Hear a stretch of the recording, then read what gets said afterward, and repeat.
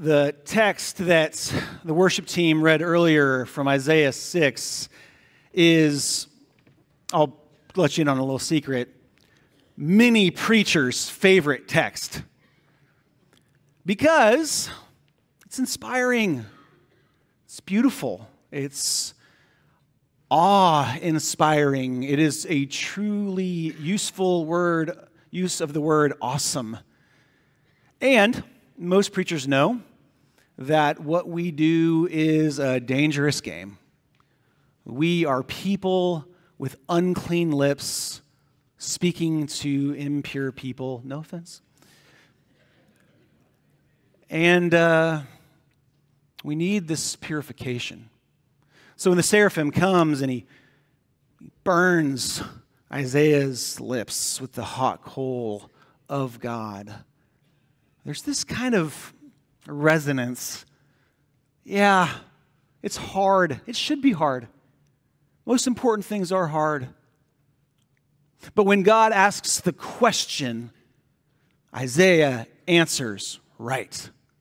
Who shall we send? Isaiah says, Here I am, send me. And usually, this is when preachers stop focusing on Isaiah 6 because what happens next is not God saying to Isaiah, You are going to be so successful in your preaching. You are going to speak, and people are going to love it. They are just going to think everything you say is so smart and funny. Oh, Isaiah, you're going to be really popular. No. God says, You're going to speak, and people are going to learn less.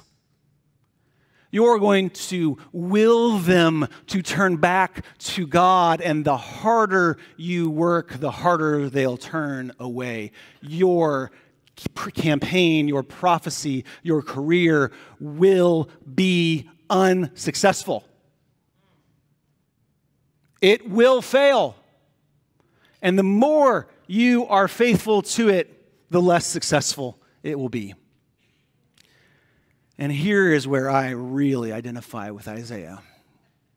Because first, he's, he's, he's really bold and he says, Here I am, Lord, send me, and I need to be purified. And then he says, Till when? How long am I going to have to keep saying this message of futility? And God says, till Jerusalem is destroyed, till not a single person is living in a household of Jerusalem anymore.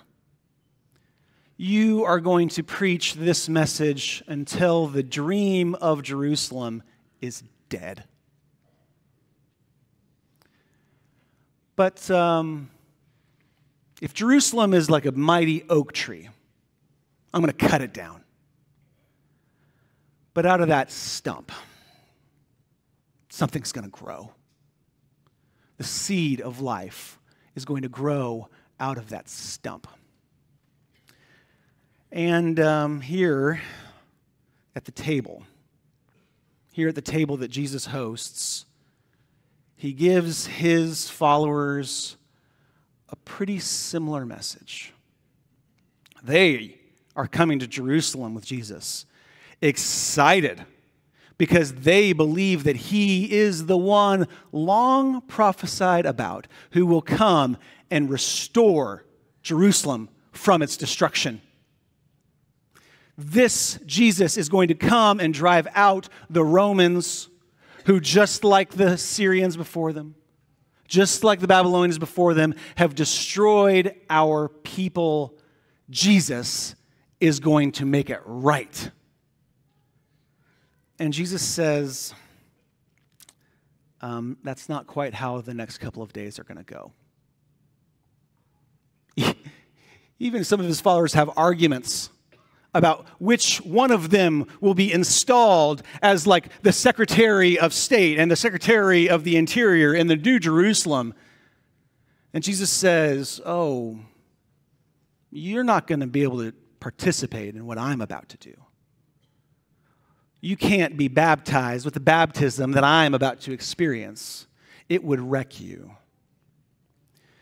Jesus tells his followers that this table and what will proceed after it is not the end of their suffering, but the beginning of the end of their dreams. Jerusalem will not be restored like they thought it would.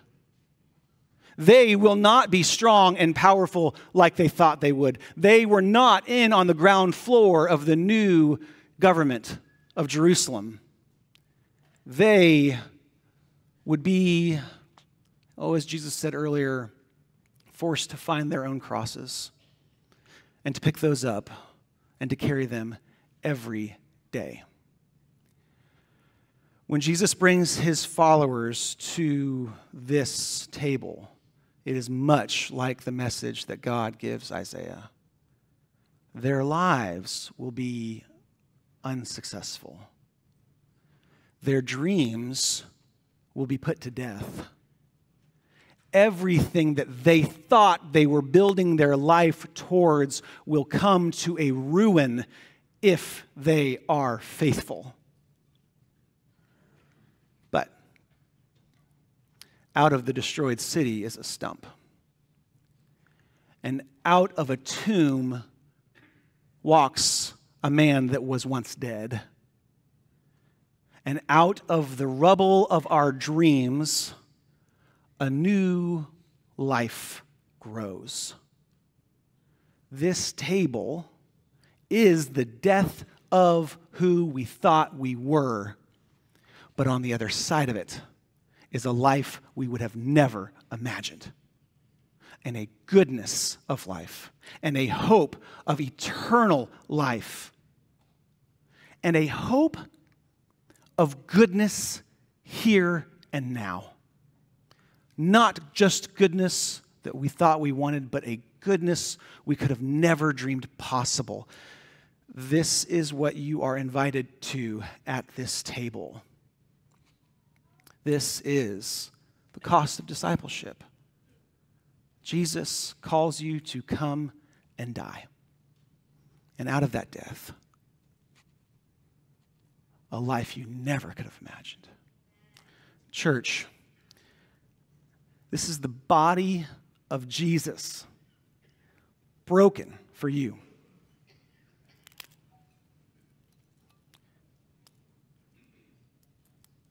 Take and eat.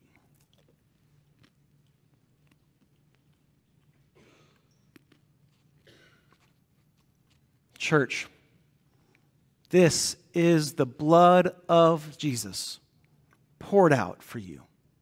Take and drink.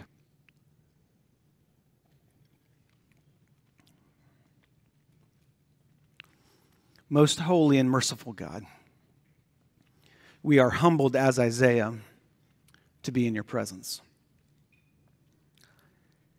Your dreams are not our dreams. Your future is not what we have imagined. But we will be faithful.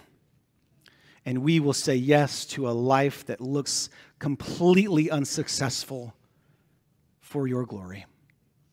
Because we believe in the life that you have for us after the destruction of what we had hoped for. It's through Christ's holy and wonderful name we pray. Amen.